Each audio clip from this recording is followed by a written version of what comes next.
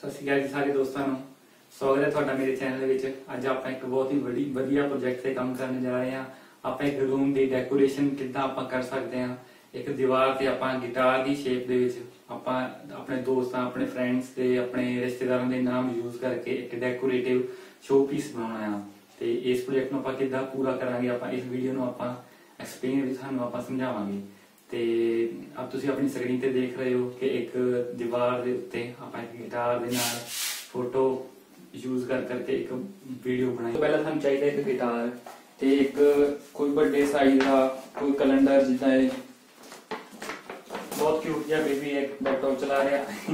ਕੋਈ ਕਿਸੇ ਵੀ ਸ਼ੇਪ ਦਾ ਕੋਈ ਕੈਲੰਡਰ ਹੋ ਸਕਦਾ, ਵੱਡੇ ਸਾਈਜ਼ ਦਾ ਹੋਵੇ। ਤੇ ਤੁਸੀਂ ਆਪਣੇ ਘਰਾਂ ਵਿੱਚ ਕੋਈ ਵੱਡਾ ਸਾਰਾ ਕਾਰਡਬੋਰਡ ਜਿੱਦਾਂ ਕਿ ਕੋਈ ਵਾਸ਼ਿੰਗ ਮਸ਼ੀਨ ਦਾ ਬਾਕਸ ਕੋਈ ਰੈਫਰੀਜਰੇਟਰ ਦਾ ਬਾਕਸ ਐਲਈਡੀ ਦਾ ਕੋਈ ਪੈਕਿੰਗ ਵਾਲਾ ਬਾਕਸ ਕੋਈ ਵੀ ਯੂਜ਼ ਕਰ ਸਕਦੇ ਹੋ ਤਾਂ ਕਿ ਤੁਸੀਂ ਗਿਟਾਰ ਦਾ ਇੱਕ ਆਊਟਲਾਈਨ ਚਾਹੀਦਾ ਸਾਨੂੰ ਆਪਾਂ ਇੱਕ ਸਟੈਂਸਲ ਬਣਾਉਣਾ ਹੈ। ਤੇ ਇਦਾਂ ਇੱਕ ਗਿਟਾਰ ਨੂੰ ਲੈ ਲੈਣਾ ਹੈ ਤੇ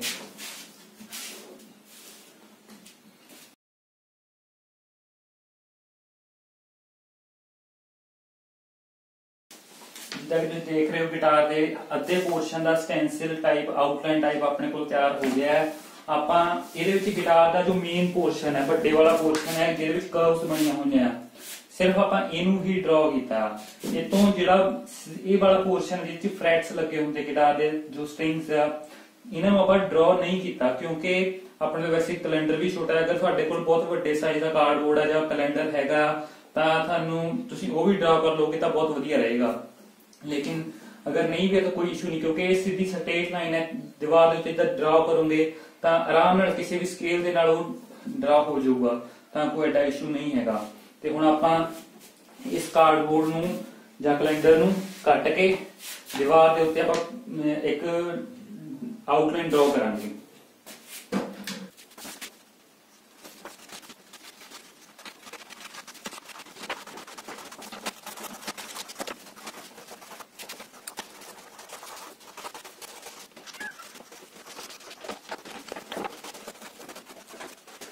ਲਓ ਜੀ ਸਾਡੇ ਕੋਲ ਇੱਕ ਗਿਟਾਰ ਤੇ ਇੱਕ ਸਟੈਂਸਲ ਤਿਆਰ ਹੋ ਗਿਆ ਹੈ ਇਸ ਨੂੰ ਯੂਜ਼ ਕਰਕੇ ਅਸੀਂ ਦੀਵਾਰ ਦੇ ਉੱਤੇ ਇੱਕ ਆਊਟਲਾਈਨ ਡਰਾ ਕਰ ਲਵਾਂਗੇ ਗਿਟਾਰ ਦਾ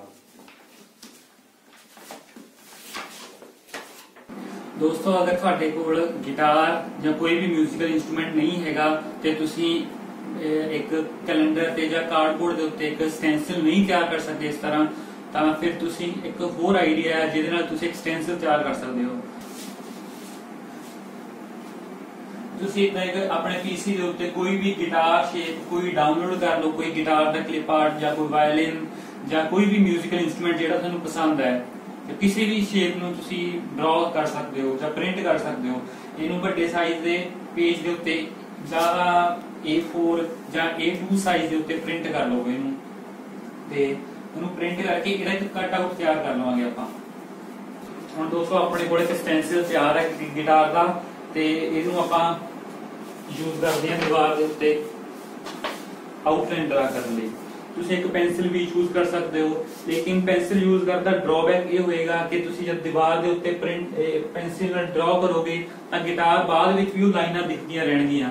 ਇਸ ਕਰਕੇ ਪੈਨਸਿਲ ਨੂੰ ਯੂਜ਼ ਨਾ ਕਰੋ। ਮੈਂ ਕੋਸ਼ਿਸ਼ ਕਰੂੰਗਾ ਕਿ ਆਪਾਂ ਸਾਰਾ ਆਊਟਲਾਈਨ ਜੋ ਗਿਟਾਰ ਦਾ, ਉਹ ਇੱਕ ਸੂਈ ਦੇ ਨਾਲ ਬਣਾ ਦਈਏ ਸੂਈ ਨਾਲ ਕੀ ਹੋਏਗਾ, ਨਿਸ਼ਾਨੀ ਰਹੇਗੀ, ਦੀਵਾਰ ਦੇ ਉੱਤੇ ਇੱਕ ਆਊਟਲਾਈਨ ਡਰਾ ਜ਼ਰੂਰ ਹੋ ਜਾਏਗੀ, ਲੇਕਿਨ ਜੋ ਸੂਈ ਦੇ ਨਾਲ ਲਾਈਨਾਂ ਦਿਖਣਗੀਆਂ ਨਾ, ਉਹ ਦੂਰੋਂ ਨਹੀਂ ਦਿਖਣਗੀਆਂ। ਬਹੁਤ ক্লোਜ਼ ਜਾ ਕੇ ਕੋਈ ਦੇਖਣਾ ਚਾਹੇਗਾ, ਫਿਰ ਹੀ ਦਿਖੂਗੀਆਂ। ਤੇ ਚਲੋ ਆਪਾਂ ਸ਼ੁਰੂ ਕਰਦੇ ਹਾਂ।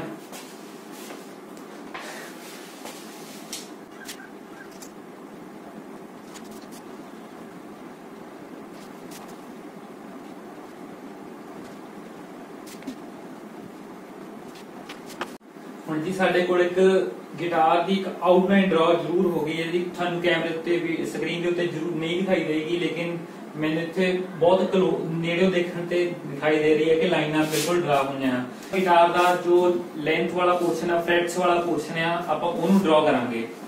ਕੋਈ ਵੱਡੇ ਸਾਈਜ਼ ਦੀ ਕੋਈ ਪੱਟੀ ਸਟ੍ਰੇਟ ਲਾਈਨ ਕੋਈ ਡੌਗ ਡਰਾ ਕਰਨ ਲਈ ਕੋਈ ਵੀ ਸਕੇਲ ਯੂਜ਼ ਕਰ ਸਕਦੇ ਹੋ, ਜਾਂ ਕੋਈ ਵੀ ਲੱਕੜੀ ਦਾ ਕੋਈ ਪੀਸ ਜਾਂ ਕੋਈ ਰੋਡ ਹੋ ਸਕਦੀ ਆ।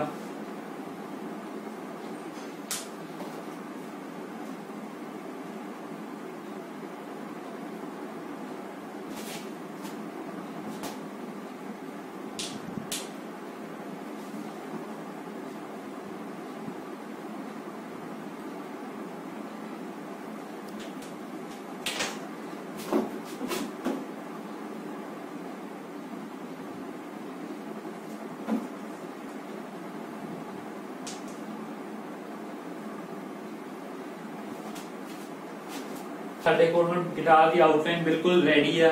ਇਹਦੇ ਵਿੱਚ ਨਾਮ ਆਪਾਂ ਲਿਖ ਸਕਦੇ ਹਾਂ ਹੁਣ। ਲੇਕਿਨ ਇਸ ਤੋਂ ਪਹਿਲਾਂ ਆਪਾਂ ਨੂੰ ਧਿਆਨ ਦੇਣ ਦੀ ਜ਼ਰੂਰਤ ਹੈ ਕਿ ਜਿੱਦਾਂ ਆਪਾਂ ਇਹਦੇ ਵਿੱਚ ਕੁਝ ਵੀ ਟੈਕਸਟ ਲਿਖਾਂਗੇ, ਤਾਂ ਉਹ ਸਟ੍ਰੇਟ ਲਾਈਨ ਦੇ ਵਿੱਚ ਰਹਿਣ, ਬਿਲਕੁਲ ਹੌਰੀਜ਼ੌਂਟਲ ਰਹਿਣ। ਇਸ ਚੀਜ਼ ਨੂੰ ਆਪਾਂ ਮੇਨਟੇਨ ਕਰਨ ਲਈ ਆਪਾਂ ਇਹਦੇ ਵਿੱਚ ਲਾਈਨਰ ਦਾ ਕਰ ਦਵਾਂਗੇ ਹੌਰੀਜ਼ੌਂਟਲ ਲਾਈਨਸ ਇੱਕ ਸੂਈ ਦੇ ਨਾਲ ਹੀ ਜੋ ਆਪਾਂ ਸ਼ੁਰੂ ਤੋਂ ਯੂਜ਼ ਕਰਦੇ ਆ ਰਹੇ ਹਾਂ, ਇਹਦਾ ਇਹ ਦੁਬਾਰਾ ਤੋਂ ਦੱਸ ਰਿਹਾ ਕਿ ਫਾਇਦਾ ਹੋਏਗਾ। ਕਿ ਲਾਈਨਰ ਦਿਖਣਗੀਆਂ ਨਹੀਂ, ਸਿਰਫ ਡਰਾਅ ਕਰਨ ਵੇਲੇ ਹੈਲਪ ਹੋਏਗੀ। ਉਹਦੇ ਤੋਂ ਬਾਅਦ 'ਚ ਜਦੋਂ ਤੁਹਾਡਾ ਪੂਰਾ ਗਿਟਾਰ ਸ਼ੇਪ ਪ੍ਰਿੰਟ ਹੋ ਜਾਊਗੀ ਤਾਂ ਤੁਹਾਡੀਆਂ ਇਹ ਜੋ ਤੁਸੀਂ ਟੈਂਪਰੇਰੀ ਲਾਈਨਾਂ ਬਣਾਉਣੀਆਂ ਆਪਣੀ ਹੈਲਪ ਵਾਸਤੇ ਤਾਂ ਕਿ ਅੱਖਰ ਜੋ ਬਿਲਕੁਲ ਹੌਰੀਜ਼ੌਂਟਲ ਲਿਖੇ ਜਾਣ, ਤਾਂ ਉਹ ਲਾਈਨਾਂ ਦੂਰੋਂ ਖੜਿਆਂ ਨੂੰ ਨਹੀਂ ਦਿਖੂਗੀਆਂ।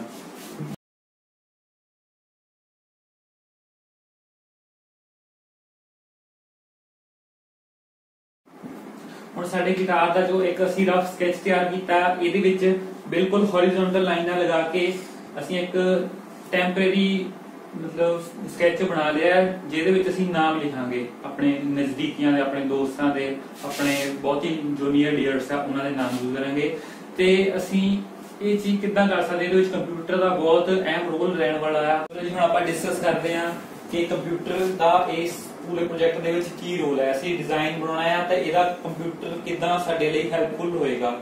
ਤੇ ਇਹਦੇ ਵਾਸਤੇ ਸਭ ਤੋਂ ਪਹਿਲਾਂ ਤੁਸੀਂ ਮਾਈਕਰੋਸਾਫਟ ਐਕਸਲ ਜਾਂ ਮਾਈਕਰੋਸਾਫਟ ਵਰਡ ਕੋਈ ਵੀ ਸੌਫਟਵੇਅਰ ਯੂਜ਼ ਕਰ ਸਕਦੇ ਹੋ।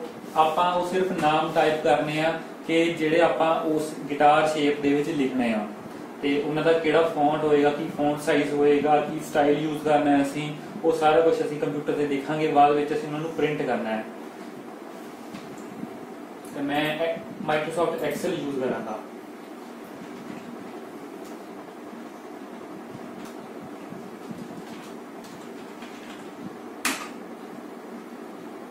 ਸਭ ਤੋਂ ਪਹਿਲਾਂ ਤੁਸੀਂ ਜਿੱਦਾਂ ਕਿ ਤੁਹਾਡਾ ਆਪਣਾ ਪਰਸਨਲ ਰੂਮ ਆ, ਜਾਂ ਤੁਸੀਂ ਆਪਣਾ ਮੰਨ ਲਓ ਕਿ ਜਿੱਦਾਂ ਮੇਰਾ ਨਾਮ ਗੁਰਦੀਪ ਹੈ, ਤੇ ਮੈਂ ਮੈਂ ਚਾਹੁੰਦਾ ਕਿ ਮੈਂ ਆਪਣਾ ਨਾਮ ਥੋੜੇ ਬੜੇ ਬੜੇ ਸਾਈਜ਼ ਦੇ ਫੌਂਟ ਵਿੱਚ ਲਿਖਾਂ। ਤੇ ਜੇ ਤੁਸੀਂ ਆਪਣਾ ਨਾਮ ਲਿਖਣਾ ਚਾਹੁੰਦੇ ਹੋ, ਆਪਣੇ ਪਾਰਟਨਰ ਦਾ ਨਾਮ ਨਾਲ ਲਿਖਣਾ ਚਾਹੁੰਦੇ ਹੋ, ਤੁਸੀਂ ਲਿਖ ਸਕਦੇ ਹੋ ਕਪਲ ਸੇ ਨੇਮ ਜਿੱਦਾਂ ਜਿਹੜੇ ਲਿਵਿੰਗ ਰੂਮ ਆ, ਤਾਂ ਤੁਸੀਂ ਉਹ ਲਿਖ ਸਕਦੇ ਹੋ, ਬਹੁਤ ਵ- ਵਧੀਆ ਲੱਗੇਗਾ। ਤੇ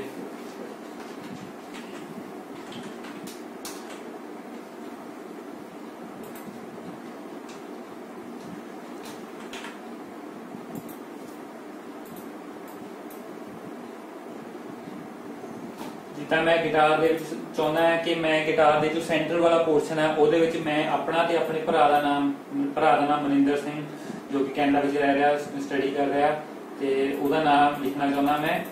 ਅਸੀਂ ਇਸ ਨੂੰ ਥੋੜੇ ਬੜੇ ਸਾਈਜ਼ ਦੇ ਫੌਂਟ ਵਿੱਚ ਲਿਖਣਾ ਚਾਹਾਂਗੇ।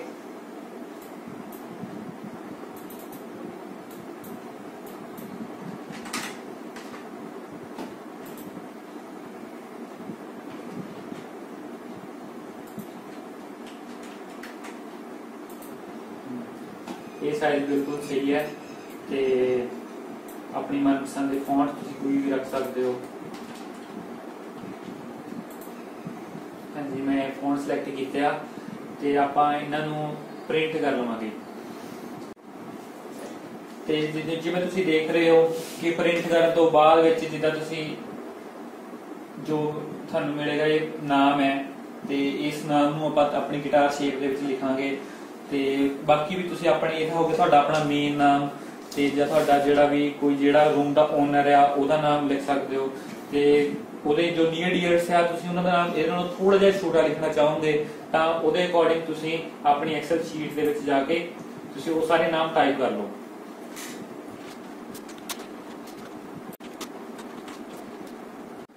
ਲਓ ਜੀ, ਸਾਡੇ ਕੋਲ ਇੱਕ ਹੁਣ ਸਾਡੇ ਸਾਰੇ ਫਰੈਂਡਸ ਦੇ ਨਾਮ ਤਿਆਰ ਹੈ ਜਿਸੀ ਜਿਨ੍ਹਾਂ ਨੂੰ ਅਸੀਂ ਯੂਜ਼ ਕਰਕੇ ਆਪਣੇ ਗਿਟਾਰ ਸ਼ੇਪ ਦੇ ਵਿੱਚ ਲਿਖਣਾ ਆ, ਤੇ ਹੁਣ ਅਸੀਂ ਇਹਦਾ ਇੱਕ ਪ੍ਰਿੰਟ ਲੈ ਲਵਾਂਗੇ। ਤਾਂ ਇਹ ਸਾਰੇ ਨਾਮ ਜਿਹੜੇ ਅਸੀਂ ਲਿਖੇ ਆ, ਅਸੀਂ ਇਹਨਾਂ ਨੂੰ ਪ੍ਰਿੰਟ ਕਰਨ ਤੋਂ ਬਾਅਦ ਮੈਂ ਇਹਨਾਂ ਨੂੰ ਇੱਕ A4 ਪੇਪਰ ਤੇ ਪ੍ਰਿੰਟ ਕਰਕੇ, ਉਸ ਤੋਂ ਬਾਅਦ ਇਹਨਾਂ ਨੂੰ ਕੱਟ ਲਿਆ ਇਦਾਂ ਹਰ ਇੱਕ ਨਾਮ ਨੂੰ ਅਲੱਗ ਤੁਸੀਂ ਕੱਟ ਕੇ ਰੱਖ ਲਓ। ਜਿੱਦਾਂ ਇਹ ਸਾਰੇ ਨਾਮ ਜਿਹਨੇ ਮੇਰੇ ਫਰੈਂਡਸ ਦੇ ਨਾਮ ਆ, ਮੈਂ ਇੱਕ ਪੇਪਰ ਦੇ ਉੱਤੇ ਪ੍ਰਿੰਟ ਕਰਕੇ ਇਹਨਾਂ ਨੂੰ ਰੱਖਿਆ ਇੱਕ ਬੜੇ ਸਾਈਜ਼ ਦੇ ਬਾਊਲ ਦੇ ਵਿੱਚ ਲੈ ਕੇ ਇਹਨਾਂ ਨੂੰ ਤੇ ਆਪਾਂ ਫਿਰ ਦੀਵਾਰ ਦੇ ਉੱਤੇ ਇੱਕ ਮਾਰਕਰ ਦੇ ਨਾਲ ਜਾਂ ਕਿਸੇ ਸਕੈਚ ਨਾਲ ਕਿਸੇ ਪੇਂਟ ਦੇ, ਇੱਕ ਬ੍ਰਸ਼ ਦੇ ਥਰੂ ਆਪਾਂ ਦੀਵਾਰ ਦੇ ਉੱਤੇ ਨਾਮ ਲਿਖਾਂਗੇ। ਦੇਖੋ ਤੁਸੀਂ ਦੋ ਬੜੇ ਸਾਈਜ਼ ਦੇ ਬਾਉਲ ਲੈ ਲੈਣੇ ਆ। ਇੱਕ ਦੇ ਵਿੱਚ ਜਿਹੜੇ ਨਾਮ ਹੈ ਕੱਟ ਕੇ ਰੱਖੇ ਸੀਗੇ ਪੇਪਰ ਤੋਂ, ਉਹ ਸਾਰੇ ਇੱਕ ਦੇ ਵਿੱਚ ਆ। ਤੇ ਇਹਨੂੰ ਅਸੀਂ ਯੂਜ਼ ਕਰਕੇ ਦੀਵਾਰ ਤੇ ਤਾਂ ਰੱਖ ਲਵਾਂਗੇ।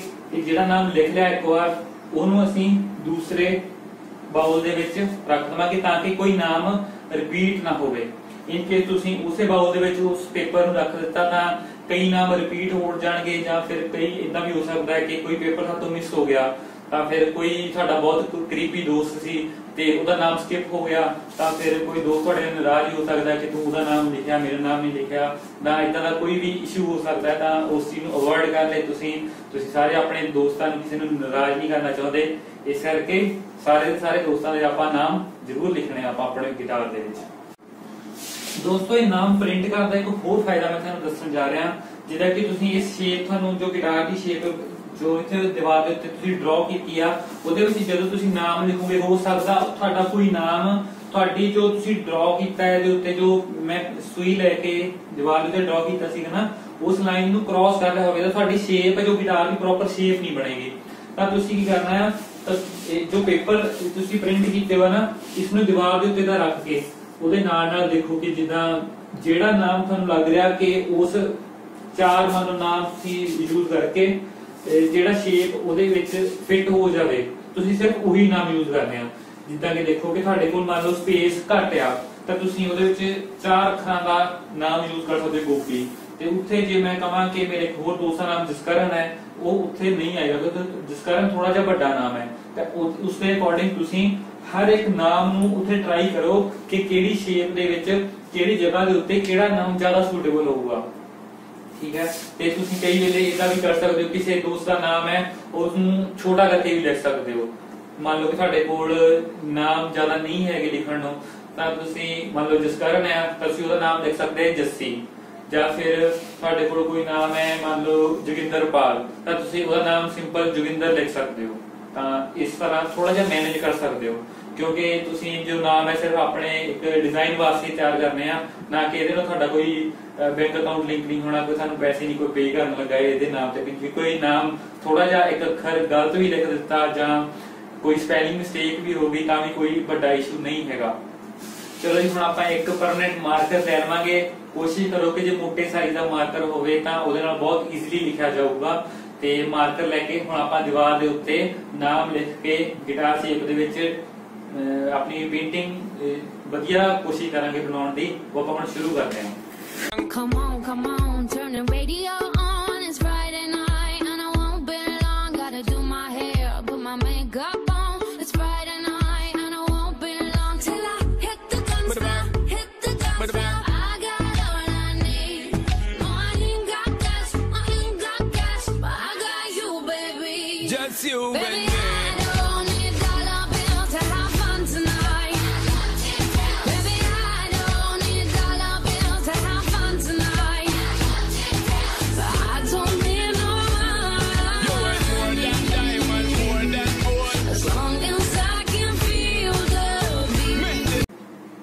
ਲਓ ਜੀ, ਸਾਡਾ ਡਿਜ਼ਾਈਨ ਹੁਣ ਬਿਲਕੁਲ ਤਿਆਰ ਹੈ। ਅਸੀਂ ਇਹਦੇ ਵਿੱਚ ਇਹਦੇ ਲਈ ਡੈਕੋਰੇਸ਼ਨ ਕਰਨ ਲਈ ਮੈਂ ਇਹਦੇ ਵਿੱਚ ਬਹੁਤ ਸਾਰੀਆਂ ਹੋਰ ਚੀਜ਼ਾਂ ਵੀ ਐਡ ਕੀਤੀਆਂ। ਜਿੱਦਾਂ ਕਿ ਜੋ ਮੈਂ ਜਿਨ੍ਹਾਂ ਜਗ੍ਹਾ ਤੇ ਕਪਲ ਦੇ ਨਾਮ ਲਿਖੇ ਵਾ ਉਹਨਾਂ ਤੇ ਮੈਂ ਵਿੱਚ ਹਾਰਟ ਦਾ ਸਿੰਬਲ ਬਣਾ ਦਿੱਤਾ। ਤਾਂ ਹੋਰ ਵੀ ਕਾਫੀ ਜਗ੍ਹਾ ਦੇ ਉੱਤੇ ਜਿੱਦਾਂ ਤੁਸੀਂ ਦੇਖ ਰਹੇ ਹੋ ਕਿ ਮੈਂ ਫੈਂਸੀ ਦੀਆਂ ਚੀਜ਼ਾਂ ਡਰਾ ਕੀਤੀਆਂ ਇਹਨਾਂ ਨਾਲ ਤੁਹਾਡਾ ਡਿਜ਼ਾਈਨ ਹੋਰ ਵਧੀਆ ਲੱਗੇਗਾ ਰੂਮ ਦੇ ਵਿੱਚ ਹੋਰ ਵਧੀਆ ਡੈਕੋਰੇਸ਼ਨ ਹੋਏਗੀ। ਤੇ ਮੈਂ ਆਪਣੇ ਵੱਲੋਂ ਬਹੁਤ ਪੂਰੀ ਕੋਸ਼ਿਸ਼ ਕੀਤੀ ਆ ਕਿ ਮੈਂ ਸਾਰੇ ਆਪਣੇ ਦੋਸਤਾਂ ਦੇ ਨਾਮ ਲਿਖਾਂ। ਤੇ ਇਨ ਕੇਸ ਕੋਈ ਦੋਸਤ ਦਾ ਮੇਰੇ ਕੋਲ ਗਲਤੀ ਨਾਲ ਨਾ ਲਿਖ ਹੋਇਆ ਤਾਂ ਮੈਂ ਉਹਨਾਂ ਲਈ ਜਦੋਂ ਸੌਰੀ ਫੀਲ ਕਰਦਾ ਹਾਂ ਤੇ ਅੱਗੇ ਫਿਊਚਰ ਵਿੱਚ ਮੈਂ ਹੋਰ ਕੋਈ ਵੀ ਡਿਜ਼ਾਈਨ ਜੇ ਦੁਆਰਾ ਆਪਣੇ ਦ- ਦੀਵਾਰ ਉੱਤੇ ਕੋਈ ਬਣਾਉਂਗਾ ਤਾਂ ਤੁਹਾਡਾ ਨਾਮ ਜ਼ਰੂਰ ਇਨਕਲੂਡ ਕੀਤਾ ਜਾਊਗਾ। ਥੈਂਕ ਯੂ ਮੇਰੀ ਵੀਡੀਓ ਦੇਖਣ ਲਈ ਬਹੁਤ ਬਹੁਤ ਧੰਨਵਾਦ। ਤੇ ਮੈਂ ਵੀ ਤੁਹਾਨੂੰ ਇੱਕ ਇੱਕ ਵੀਡੀਓ ਟਿਊਟੋਰੀਅਲ ਥਰੂ ਦੱਸਣ ਦੀ ਕੋਸ਼ਿਸ਼ ਕੀਤੀ ਆ। ਮੈਨੂੰ ਇਸ ਵਿੱਚ ਬਹੁਤ ਖੁਸ਼ੀ ਹੈ ਤੇ ਤੁਸੀਂ ਵੀ ਇਸ ਵੀਡੀਓ ਨੂੰ ਲਾਈਕ ਤੇ ਕਮੈਂਟ ਜ਼ਰੂਰ ਕਰੋ, ਆਪਣੇ ਦੋਸਤਾਂ ਨਾਲ ਸ਼ੇਅਰ ਵੀ ਕਰੋ ਤੇ ਇਸ ਵੀਡੀਓ ਤੋਂ ਦੇਖ ਕੇ ਇੱਕ ਵਧੀਆ ਆਈਡੀਆ ਲੈ ਕੇ ਤੁਸੀਂ ਵੀ ਆਪਣੀਆਂ ਘਰ ਦੀਆਂ ਦੀਵਾਰਾਂ ਉੱਤੇ ਕੋਈ ਵਧੀਆ ਡਿਜ਼ਾਈਨ ਤਿਆਰ ਕਰ ਸਕਦੇ ਹੋ ਤੇ ਸਾਨੂੰ ਆਪਣੇ ਜੋ ਵੀ ਤੁਹਾਡੇ ਸੁਝਾਅ ਆਇਆ ਇਸ ਵੀਡੀਓ ਲਈ ਜਾਂ ਕੋਈ ਵੀ ਚੀਜ਼ ਵਧੀਆ ਲੱਗੀ ਤਾਂ ਜ਼ਰੂਰ ਸ਼ੇਅਰ ਕਰੋ। Thank you